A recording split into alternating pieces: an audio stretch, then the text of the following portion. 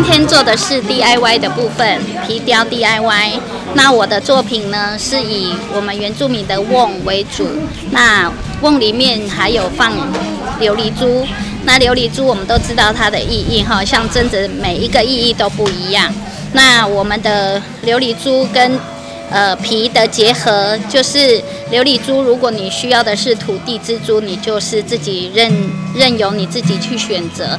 那我们今天做这样的一个活动是相当有意义，除了让更多的人可以了解我们原住民的一些手作之外呢，我们还可以透过这样的一个活动，让我们的呃 DIY 呃皮雕或甚至是我们的琉璃珠都可以呃呃可以广传到世界各地，到每一个家庭，到每一个人。